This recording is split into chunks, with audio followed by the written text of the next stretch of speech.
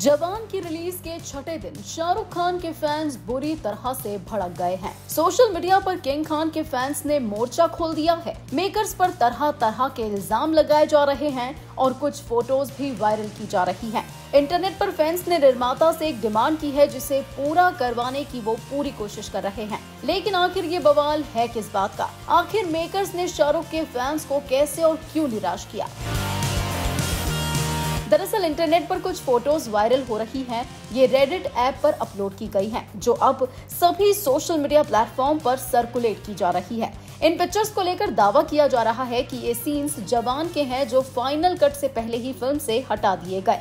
इन्हें डिलीट कर दिया गया। एक रेडिट यूज़र ने कई क्लिप शेयर करते हुए मेकर से ये डिमांड की है कि वो जवान से डिलीट किए गए सीन्स को ओटीटी पर दिखाए।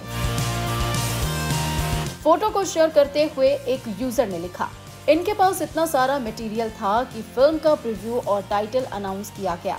उसके बाद फाइनल कट में से कई सीन्स हटाए गए। पौने तीन घंटे की ही फ़िल्म बहुत तेज है। वहीं दूसरे यूज़र ने इन डिलीटेड सीन्स को लेकर कहा, ऐसा होता तो ये चार घंटे की फ़िल्म बन जाती। मुझे कोई दिक्कत नहीं है। मैं चार घंटे भी ये फ़िल्म देख सकता हूँ।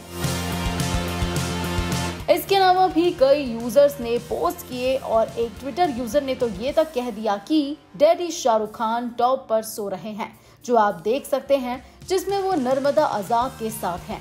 ऐसे तमाम कई ट्वीट्स अवेलेबल हैं, जिसमें फैंस मेकर से खफा नज़र आ रहे हैं और जमकर अपनी भड़ास निकाल रहे हैं। इतना ही नहीं फैंस की अब सिर्फ़ एक ही डिमांड है कि जब भी ये फ़िल्म ओटीटी पर आए, तब इसका अनकट वर्जन वहाँ रिलीज़ किया जाए। अब मेकर्स इस पर क्या संज्ञान लेते हैं और लेते भी हैं या नहीं?